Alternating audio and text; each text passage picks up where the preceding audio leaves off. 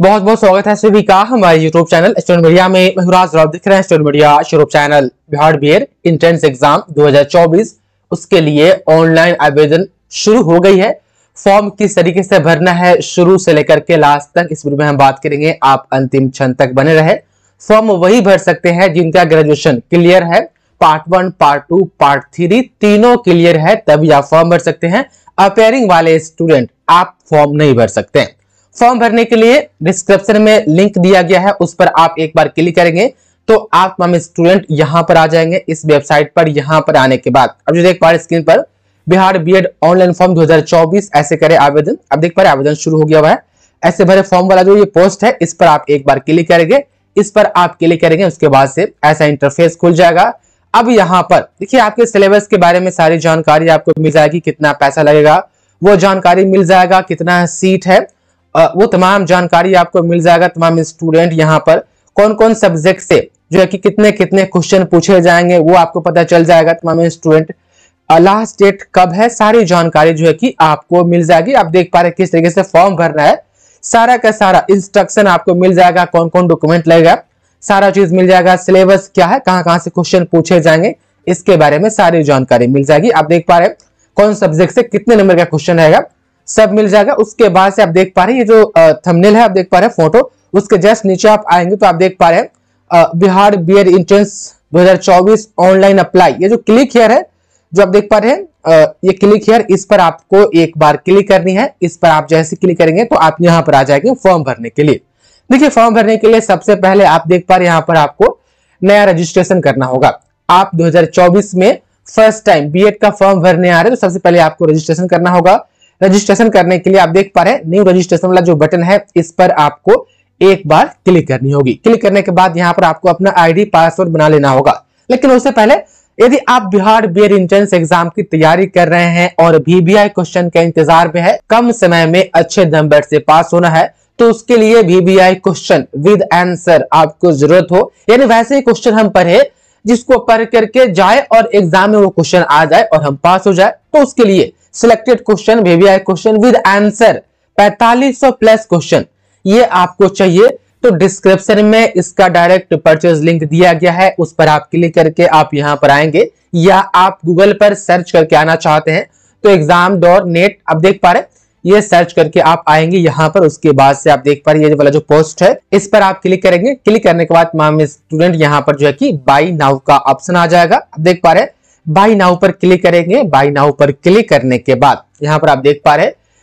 ऐसा इंटरफेस आ जाएगा, यहाँ पर आपको बिलिंग डिटेल्स फिलअप करना है नाइनटी नाइन रुपीज़ इससे भी कम हो जाएगा, यदि आप मेरा कूपन कोड इस्तेमाल करते हैं, आप देख पा रहे हैं have a coupon code click to enter your code यहाँ पर क्लिक करके स्टूडेंट मीडिया का कैपिटल एस मीडिया में आप देख पा रहे हैं कैपिटल एम और टेन आप यूज़ करते हैं और अप्लाई कूपन कोड का यहाँ पर जो ऑप्शन है, उस पर आप एक बार क्लिक कर देते हैं तो आप देख पा रहे यहाँ पर एटी नाइन रुपीज़ यानी दस परसेंट आपको छूट भी मिल जाएगा। तो यहाँ पर अपना नाम लिखना है फ़ोन नंबर लिखना है ईमेल आईडी लिखना है, और एक पासवर्ड अपने मन से कोई भी क्रिएट कर लेना है, जो कि याद रहे अपने मन से। एक, दो, तीन एबीसीडी एट द रेट करके भी आप पासवर्ड बना सकते हैं। उसके बाद से जैसे आप प्लेस ऑर्डर पर क्लिक करेंगे प्लेस ऑर्डर पर उसके बाद से पेमेंट का ऑप्शन आ जाएगा। आप फ़ोन पे गूगल पे या जो है कि आप डेबिट कार्ड क्रेडिट कार्ड का इस्तेमाल करके आप पेमेंट कर देंगे। पेमेंट करने के जस्ट बाद आपको जो है कि डाउनलोड करने का ऑप्शन आ जाएगा। उसके बाद से आप डाउनलोड करके जो है कि आप अपने पास रख लेंगे। आप चाहे तो कितना बार भी इसको डाउनलोड कर सकते हैं। यहाँ पर आप देख पा रहे हैं, यहाँ पर लॉगिन कर लीजिएगा। जो आईडी पासवर्ड बनाइएगा, ईमेल आईडी और पासवर्ड लॉगिन करके आप कितने बार भी चाहे तो इसको डाउनलोड कर सकते हैं। क्वेश्चन देखिएगा तो इस टाइप से क्वेश्चन मिलेगा। देख पा रहे बिहार बीएड के लिए, यही है पीडीएफ जो कि काफ़ी सिलेक्टेड क्वेश्चन है, जो कि कम समय में आपको अच्छी तैयारी करवा देगा। तो चलिए आप देख पा रहे यहाँ से आकर के आप लोग परचेस कर लीजिए। कमेंट में भी इसका डायरेक्ट लिंक पिन किया हुआ है। किसी भी प्रकार का दिक्कत, परेशानी होता है तो डिस्क्रिप्शन में हेल्पलाइन नंबर दिया गया है, उस पर फ़ोन करके जो कि आप पूछताछ कर सकते हैं। आपको कमेंट बॉक्स में भी हेल्पलाइन नंबर आपको मिल जाएगा। तो चलिए, यहाँ पर आते हैं। अब यहाँ पर हम न्यू रजिस्ट्रेशन वाले बटन पर एक बार क्लिक करते हैं। इस पर क्लिक करने के बाद देख पा रहे हैं first name date of birth gender choose करना है। यहाँ पर आप देख पा रहे हैं फादर नेम लिखना है मदर नेम लिखना है। एक ईमेल आईडी लिखना है वैसा, जो कि जो है कि आपको याद रहे। और एक पासवर्ड फिर यहाँ पर आप देख पा रहे हैं, एक पासवर्ड अपने से ऐसा बना लेना है, जो कि आपको याद रहे। और यहाँ पर कंट्री कोड में मोबाइल नंबर का, देख पा रहे हैं, इक्यानवे हमारे देश का कंट्री कोड है, भारत का इक्यानवे यहाँ पर ऐसे ही रहेगा। एक मोबाइल नंबर आपको यहाँ पर दर्ज करनी है, उसके बाद से कैप्चा कोड डालना है। कौन वाला एस ई जी ओ एफ़ ई आपके समय में जो भी होगा, आप डाल दीजिएगा, उसके बाद से यहाँ पर साइन इन वाले बटन पर क्लिक करनी है। जैसे ही आप साइन अप वाले बटन पर क्लिक करेंगे, कुछ ऐसा इंटरफेस आ जाएगा। यहाँ पर कहेगा कि एक बार मिला लीजिए, जो आप लिखे हैं वो सही है ना? यदि सही नहीं है तो यहाँ पर चेंज का बटन है चेंज कर लीजिए। यदि सही है तो कंफर्म पर क्लिक कीजिए, लेकिन ध्यान रहे कंफर्म कर लीजिएगा तो कोई भी डिटेल्स आप चेंज नहीं कर सकते हैं तो एक बार मिला लीजिएगा। हम यहाँ पर कन्फर्म पर क्लिक करते हैं। कन्फर्म पर क्लिक करने के बाद आप देख पा रहे हैं, ऐसा इंटरफेस आ जाएगा। आप देख पा रहे यहाँ पर सेव करने के लिए क्या है? एक्टिव योर अकाउंट अब यहाँ पर कहा जा रहा है कि आपने जो अकाउंट बनाया है, उसको एक्टिव कर लीजिए। तो आपको एक्टिव योर अकाउंट वाले ऑप्शन पर एक बार क्लिक करनी है और यहाँ पर यूज़र नेम डालना है। यूज़र नेम में आप जो है कि वही यहाँ पर ईमेल आईडी डालेंगे, जो आपने अभी दिया है। उसके बाद से एक्टिवेशन कोड आपके ईमेल आईडी या मोबाइल नंबर पर एक ओटीपी गया होगा तमाम स्टूडेंट वो जो है कि आपको यहाँ पर डाल देनी है और यहाँ पर सबमिट वाले बटन पर आपको क्लिक कर देनी है। उसके बाद से क्लिक है तो लॉगिन वाला ऑप्शन आ जाएगा। इस पर क्लिक करके आपको लॉगिन करना है। ऐसा आने के बाद फिर आपने यहाँ पर आना है साइन इन वाले बटन पर क्लिक करना है, क्योंकि आपने आईडी पासवर्ड बना लिया है। उसके बाद से लॉगिन आईडी जो आपका लॉगिन आईडी है तमाम स्टूडेंट वो आपका जो है कि जो आपने ईमेल आईडी बनाया था और जो पासवर्ड अपने मन से बनाया था, उसको यहाँ पर डाल करके आपको लॉगिन करनी है। तो आप देख पा रहे मैंने यहाँ पर जो ईमेल आईडी डाला था वो और जो पासवर्ड बनाया था वो मैंने डाल दिया। उसके बाद से सबमिट वाले बटन पर क्लिक करते हैं। सबमिट वाले बटन पर आप जैसे क्लिक करेंगे तो यहाँ पर आ जाएगा। देखिए प्रीव्यू फॉर्म है। ये इस पर कब क्लिक करना है? जब आप फॉर्म भर लेंगे तब। उससे पहले माई एप्लीकेशन वाला जो फॉर्म है, उस पर आप एक बार क्लिक कीजिएगा। क्लिक करने के बाद आप देख पा रहे प्रोग्राम नेम यहाँ पर बीएड और एक है शिक्षा शास्त्री। जो शिक्षा शास्त्री संस्कृत से कामेश्वर सिंह विश्वविद्यालय दरभंगा से जो बीएड करना चाहते हैं स्पेशली संस्कृत के लिए वो होता है, वो इस पर क्लिक करेंगे नीचे वाले पर। बाकी जो नॉर्मल स्टूडेंट है वो बीएड वाले ऑप्शन पर क्लिक करेंगे, उसके बाद से प्रोसीड वाले ऑप्शन पर क्लिक करेंगे। आप देख पा रहे आई एग्री वाले बटन पर क्लिक कर दीजिएगा, उसके बाद से एट द प्रोग्राम पर आप क्लिक कीजिएगा, उसके बाद से आप देख पा रहे अब यहाँ पर एप्लीकेशन डिटेल्स है फ़ोटो एंड सिग्नेचर अपलोड करने का एजुकेशन डिटेल्स आप देख पा रहे एजुकेशनल है डॉक्यूमेंट अपलोड है एग्जामिनेशन सेंटर है रिव्यू एंड कन्फर्म है। छह स्टेप है, देख पा रहे एक को आप कंप्लीट कीजिएगा, तभी आप दूसरे वाले ऑप्शन में जा सकते हैं। तो आप देख पा रहे पहला वाला जो एप्लीकेशन डिटेल्स यही अभी इनकम्प्लीट है। तो इस पर हम क्लिक करते हैं क्लिक करने के बाद फ़र्स्ट वाले पर आप देख पा रहे हैं, उसके बाद यहाँ पर कैंडिडेट नेम इन हिंदी लिखना है, आप देख पा रहे हैं, उसके बाद यहाँ पर आ, उनका जो है कि यहाँ पर डोमिसाइल चूज़ करना है। आप बिहार से या बिहार से बाहर क्या है नेशनैलिटी आपको बतानी है इंडियन है आप क्या है? आपको अपना कैटेगरी बता देनी है कि रिज़र्व से है ईडब्ल्यू से क्या है दिव्यांग है या नहीं है। आपको ये सब बता देना है उसके बाद से जो है कि आप एक सर्विस मैन फैमिली से बिलोंग करते हैं या नहीं बिलोंग करते हैं ये आपको तमाम स्टूडेंट यहाँ पर बता देनी है। उसके बाद आप देख पा रहे आप माइनॉरिटी से है। आते माइनॉरिटी से तो आप यस करेंगे नहीं तो आप नो करेंगे। माइनॉरिटी में भी आते हैं तो आपको अपना कम्युनिटी चूज़ करना है, उसके बाद से आपको अपना यहाँ पर आधार नंबर चूज़ करना है, उसके बाद से मैरिटल स्टेटस आपको बतानी है तमाम स्टूडेंट उसके बाद से आप देख पा रहे हैं यहाँ पर आपको अपना एड्रेस देना है, जिसमें आप देख पा रहे हैं अपना टोला मोहल्ला का यहाँ पर नाम। देखिए, जहाँ पर भी स्टार लगा हुआ है, देखिए, ये वाला जो स्टार है, इसको फिलअप करना कंपलसरी है। यदि आप फिलअप नहीं करते हैं तो आप आगे नहीं भर पाएँगे। आप देख पा रहे हैं तो यहाँ पर तमाम स्टूडेंट आधार नंबर वाला पर यहाँ पर कंपलसरी लगा हुआ है। तो बिना आधार नंबर दर्ज किए हुए आप आगे नहीं जा सकते। तो आपका जो देख पा रहे हैं डिटेल्स है। कौन? एड्रेस डिटेल्स है। तो यहाँ पर आप एड्रेस डाल दीजिएगा, उसके बाद देख पा रहे परमानेंट एड्रेस है। यदि ऊपर वाला एड्रेस और नीचे वाला एड्रेस सेम है तो सेम एड्रेस पर एक बार टिक कीजिएगा, उसके बाद से ऑटोमेटिक ये सब फिल हो जाएगा, उसके बाद से नीचे मोबाइल नंबर है, आप देख पा रहे ईमेल आईडी है। उसके बाद से डिटेल्स फिलअप करने के बाद सेव एंड प्रोसीड वाले बटन पर आपको क्लिक करनी है। आप देख पा रहे हैं, जैसे आप सेव एंड प्रोसीड वाले बटन पर आप क्लिक कीजिएगा, उसके बाद से यहाँ पर आ जाएगा कि आप अपना फ़ोटो अपलोड कीजिए। यहाँ पर आप देख पा रहे हैं अपलोड फ़ोटो है। अपलोड फुल इंग्लिश सिग्नेचर उसके बाद से upload full Hindi signature Hindi और इंग्लिश में देखिए फुल कहने का मतलब है कि यदि आप लिखते हैं राजकुमार या ऐसे लिखते हैं कोई राहुल कुमार श्रीवास्तव। यदि वो ऐसा अपना पूरा नाम लिखता है तो पूरा नाम लिखिएगा। सिर्फ़ राहुल करके नहीं, छोड़ दीजिएगा।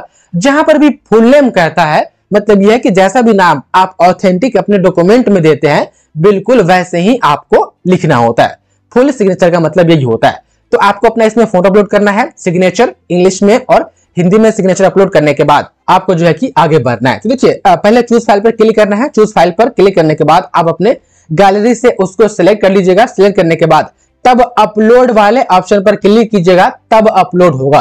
चूज़ फ़ाइल पर क्लिक करके गैलरी से चूज़ करने के बाद तब अपलोड वाले बटन पर क्लिक करनी है। तो आप देख पा रहे मैंने यहाँ पर फ़ोटो अपलोड कर दिया सिग्नेचर अपलोड कर दिया चूज़ फ़ाइल पर क्लिक करके और यहाँ पर अपलोड वाले ऑप्शन पर क्लिक करके। जैसे आप अपलोड कर देंगे ऑटोमेटिक यहाँ पर सेव एंड प्रोसीड का ऑप्शन आ जाएगा, उस पर आपको एक बार क्लिक करनी है। अब यहाँ पर जो है कि सावधानी से अपना एजुकेशनल डिटेल्स फिलअप करनी है, जैसे कि आप देख पा रहे हैं। ऊपर पहले मैट्रिक क्या बताना है कि आपने मैट्रिक जो है कि किस बोर्ड से परीक्षा पास की, उसके बाद से जो है कि आपको बताना है कि आपका जो है कि पासिंग ईयर क्या था, तमाम स्टूडेंट आप देख पा रहे जो भी आपका पासिंग ईयर होगा, आप यहाँ पर बता दीजिएगा। उसके बाद से आपको अपना स्कूल का नाम बताना है। उसके बाद से आप देख पा रहे ऑफ़ टेन मार्क्स ये आपको बतानी है।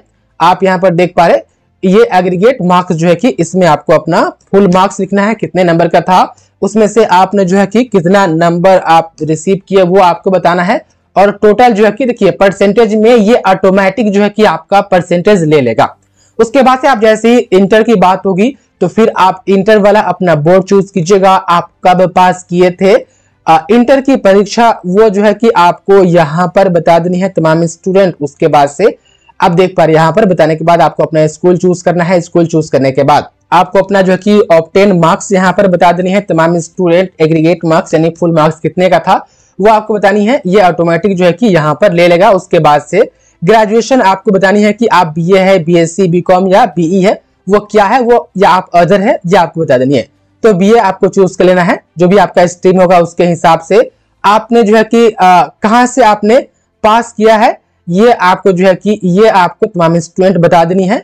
उसके बाद से जो है कि आपको अपना पासिंग ईयर जो है, तमाम स्टूडेंट आपको चूज़ कर लेना है कि आपने पासिंग ईयर आपका पासिंग ईयर क्या है। उसके बाद से आपको अपने कॉलेज का नाम बताना जहाँ से आपने जो है कि यह परीक्षा पास की है, उसके बाद से जो है कि फुल मार्क्स आपको बता देनी है। फुल मार्क्स आप चाहे तो 1500 पर भी दे सकते हैं या आप चाहे तो 800 पर भी दे सकते हैं, सिर्फ़ ऑनर्स बेस पर भी आप दे सकते हैं। उसके बाद देखिए, नीचे जो है कि पीजी वाला है, ये पीजी, ये देना ज़रूरी नहीं है। जो पीजी किए हुए हैं, वो देंगे अदरवाइज़ सेव एंड प्रोसीड पर क्लिक करके वो आगे बढ़ जाएँगे। ये सब डिटेल्स जो है कि आप लोग सावधानी पूर्वक अच्छे से भर लीजिएगा। उसके बाद से सेव एंड प्रोसीड पर क्लिक कीजिएगा। यहाँ पर कहा जा रहा है कि एक बार फिर से जो है कि आप एक बार देख लीजिए कि आपने जो फिलअप किया वो सही है कि नहीं सही है। तो हम यहाँ पर ओके पर क्लिक करते हैं। ओके पर क्लिक करने के बाद अब यहाँ पर कहेगा कि आप जो है कि सेकेंडरी मार्कशीट यानी हाई स्कूल वाला मार्कशीट अपलोड कीजिए। उसके बाद से इंटर का मार्कशीट अपलोड कीजिए। उसके बाद से ग्रेजुएशन का मार्कशीट अपलोड कीजिए। और आप बिहार के निवासी है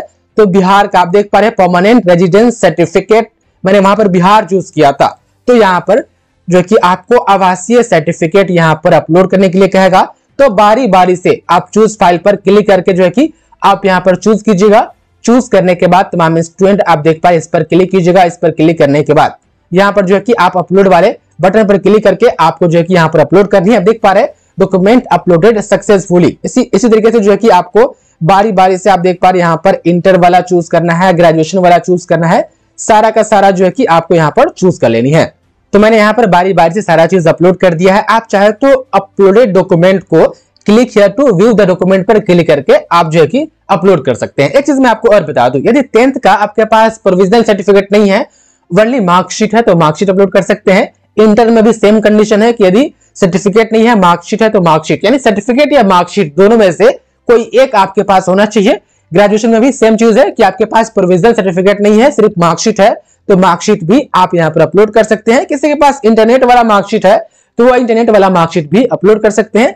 यहाँ पर देख सकते हैं और यहाँ पर आवासीय सर्टिफिकेट मैंने यहाँ पर अपलोड कर दिया। उसके बाद से प्रोसीड वाले बटन पर हम यहाँ पर क्लिक करते हैं। क्लिक करने के बाद अब देखिए यहाँ पर आपको चूज़ करना है अपना एग्जामिनेशन सेंटर की कहाँ पर जाकर के आप एग्ज़ाम देना चाहते हैं। तो पहला में हम देते हैं मुजफ्फरपुर, दूसरा में हम देते हैं बगल का ही दरभंगा, उसके बाद से तीसरा में यहाँ पर तमाम स्टूडेंट तीसरा सबसे नज़दीक कौन है मेरे लिए? तो यहाँ पर आप देख पा रहे आ, मेरा नहीं है ये एक कैंडिडेट का है आप देख पा रहे इस पर। मैंने यहाँ पर तीन चूज़ कर लिया कि भाई हमको पहले मुजफ्फरपुर चाहिए। मुजफ्फर नहीं मिलेगा तब दरभंगा दीजिएगा नहीं तो पटना दीजिएगा। तो आप देख पा रहे सेंटर ऐसे चूज़ कर लेनी है उसके बाद से सेव एंड कंटिन्यू वाले बटन पर जो है कि आपको क्लिक करनी है जैसे आप क्लिक करेंगे ये पूरा फॉर्म खुल करके आपके सामने आ जाएगा। फॉर्म खुल करके सामने आएगा। आप देख पा रहे हैं, सारा डिटेल्स मिला लीजिएगा।